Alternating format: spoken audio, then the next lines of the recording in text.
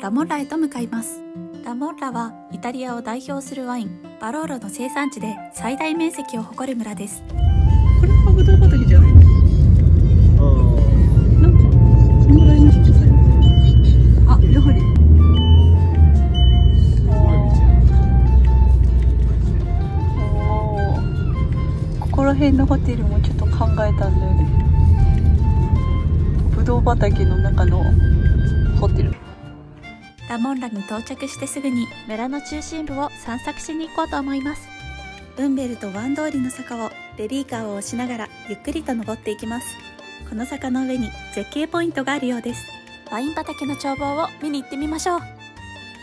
本日は平日ですが他にも観光客の方がたくさんいらっしゃいます。子連れの方が多く家族で旅行に来ていらっしゃる方が多いように見受けられます。インフォメーションやっぱちょっとこうブドウ畑ということで観光があるんじゃない？なかなか急な坂道を登っていくと到着しました。カステッロ広場です。大丈夫？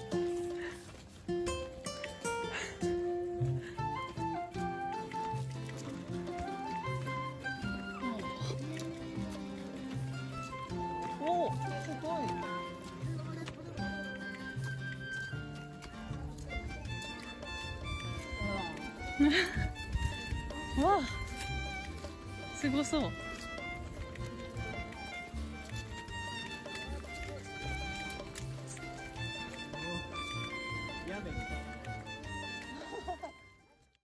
それではカステーロ広場からの眺めをご覧いただきましょう。イタリアのランゲ地区が見渡せる絶景ポイントです。ピエモンテのブドウ畑の景観は2014年に世界遺産に登録されました。有名なイタリアワインバローラの原料となるネッピオーロのブドウの木が並び立っています。いやーとっても綺麗よほんま。ここからブドウ畑を通る小道へ降りていくこともできます。ブドウ畑を散歩するのも気持ちよさそうですね。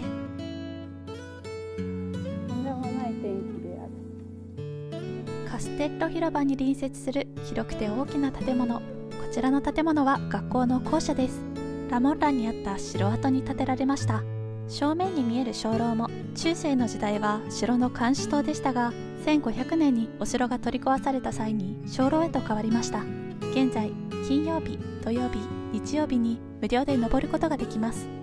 ただいま見てきたカステッロ広場は霧が発生しやすい場所です。湿度が高い日急に冷え込む日などは霧が発生しやすいのでご注意ください。ウンベルト1の通りを再び降りていきます。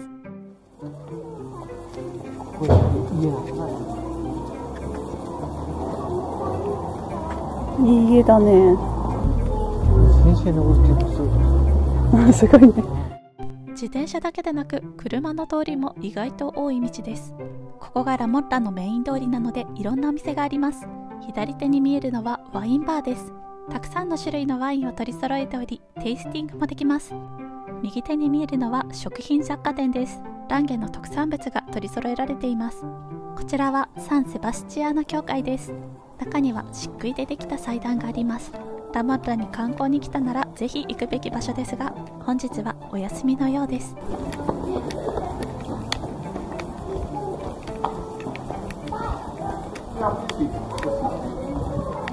ワイン欲しい。美容室。してビール Munkio. はい、Ecco qui. Munkio. ジェラート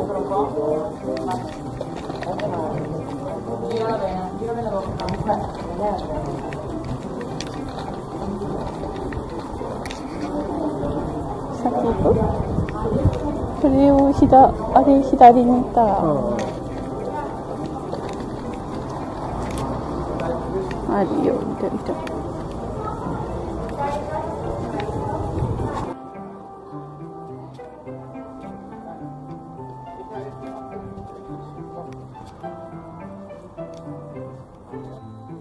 坂を降りてローマ通りまで出てきました。うわー綺麗だね。こドライブするの楽しそうやね。旅の楽しみ地元のスーパーマーケットへと行ってみようと思います。とても綺麗なスーパーマーケットです。生鮮食品から日用品まで必要なものは全て揃います。お店の奥にはチーズとお惣菜のコーナーがあります。ハムがたくさん用意されています。奥にはパンも取り揃えられています。スイーツの種類も豊富です。チーズの種類がたくさんあります。色とりどりのお惣菜たち。旅行者にはとても便利です。さて親族一同と合流しまして本日はオステリアマルマチネさんで晩ご飯です。お肉にリゾットそしてロシアンサラダをいただきます。デザートにはパンナコッタとティラミスをいただきました。イタリアに来てやっとレストランで食べることができました。今回泊まるのはカザ・アンドレアさんです。あ本当だ。チュルチュルしてる。今回のホテルじゃじゃん。ジルちゃん。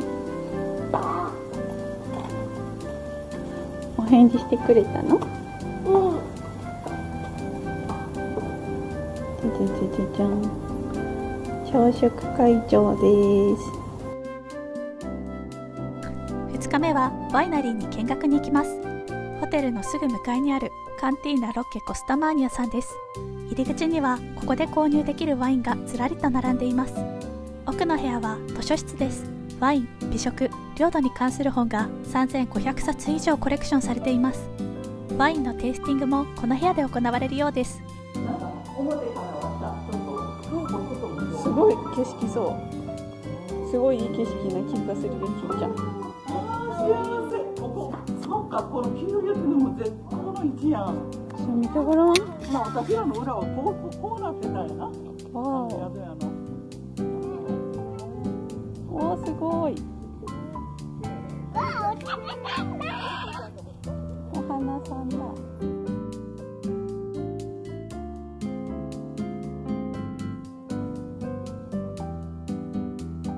それではワイナリーの地下室へと向かいます。この地下室はナポレオンが陥落した後彼の軍隊だった役人がランゲへと移りウィーン会議直後の19世紀あたりに建てられたものを現在も使用しています。頑張れ。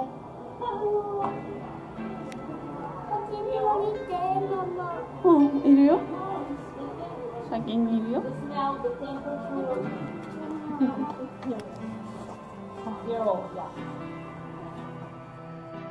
地下室は温度と湿度の良さからワインの貯蔵庫として使用されています。ランゲの石とレンガでできた厚い壁の地下室にはスラボニアンオークとフレンチオークの樽が並んでいます。ピエモンテで作られるバローロワインの製作では伝統回帰がトレンドの一つ。多くの生産者が木製の樽の導入を始めました。バローロワインで使われるネッピオーロのブドウの厳しいタンニンを和らげワインが安定する微量の酸素の供給を可能にしました。ロッケコスタマニアでは10種類のワインを製造しています。イタリア高級ワインの王様バローロ。地元でデイリーワインとして愛されるバルベラ。アルネイスで作られた白ワインなどがあります。それでは大人のお楽しみ。ワインの試飲の時間です。こちらで用意されているワインの一覧です。バローロ、パルベラ、白ワインなど3、4種類ほど試飲させてもらいました。それぞれのワインのほのかな香りの違いを楽しみます。イタリアワインは世界一の生産量を誇ります。フランスワインと比べて価格が控えめなので愛好家たちの注目の的となっています。午後は子供と公園に遊びに来ました。公園からの景色もまた美しいです。置いてある遊具も立派なものが揃っています。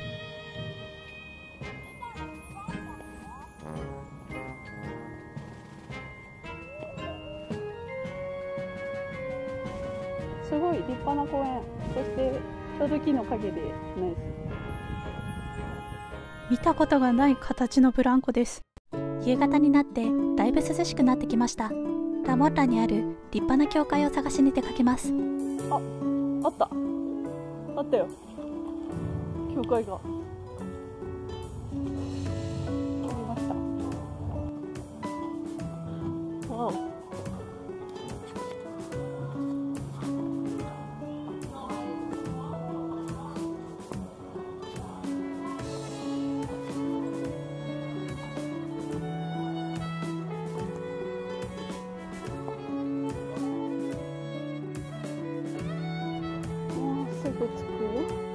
ちらがサン・マルティーノ教会です。門の上にはピエモンテの守護聖人聖マルティーノの像が立っています。向かいにもう一つ教会があります。こちらはサン・ロッコ教会。ラモッラがペストの影響を受けなかったという感謝の奉納のために建てられました。現在では美術展などにも利用されています。どちらの教会もバロック様式で建てられています。赤レンガが夕日に照らされより赤くなってきました。それではサンマルティーノ教会の中を見に行きましょう。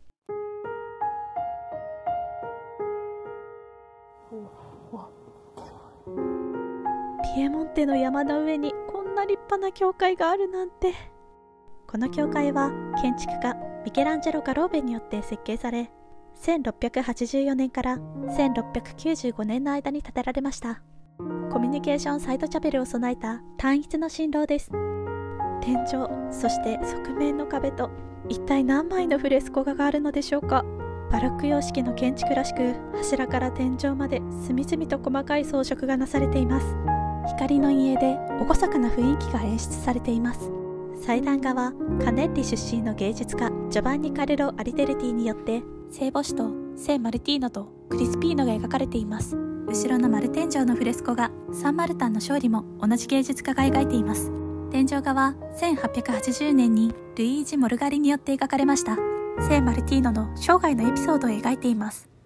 教会を出て右手カルロ・アルベルト通りをまっすぐ進むとカステッロ広場へと出てきましたあ、繋がってた。あ、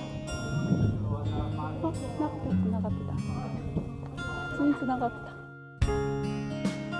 夕方になっても夏のイタリアはまだまだ明るいです夜8時を過ぎてやっと暗くなるようです夕食前のお散歩はそろそろおしまいいい時間になってお腹も空いてきたので今日夕食をごちそうになるレストランへと向かいますレストランが2つ見えてきました。どちらもイタリア料理店です。今回はこちらのカラフルな建物のレストランへ伺います。どうやら家族が先に到着していたようです。カステッド広場へと向かう坂を登った先にあるレストラン。カーザツゼッペカペッティクチーナエピーノディランガで楽しみます。前が広場なのでテラス席に座るととても開放的です。あ、色ソース。ソース？あ、うん。じゃがいもソース。あー。美味しい美味しい。本日もピエモンテ料理を楽しみます。ミートソースパスタです。ピエモンテのパスタは細くて平べったいものがポピュラーなようです。こちらは牛肉のロースト。そしてじゃがいものニョッキです。このお魚が皮がパリパリして美味しかった。今回の旅のナンバーワンです。帰り道少しだけ寄り道をしてアルバ通りのピアッツァマルティリからランゲの夜景を楽しみますイタリアの山奥の村へとやってきましたが星空のような夜景が広がっていました。次の日ホテルを移りまして次はコルテゴンディーナブティックホテルに泊まります。朝食が本当に立派なホテルです。次はいよいよ今回の旅の目的イタリアで行われる姉の結婚式に参加します。最後までご視聴いただきありがとうございます。ぜひチャンネル登録またいいねもよろしくお願いします。それでは次の動画でお会いしましょう。またね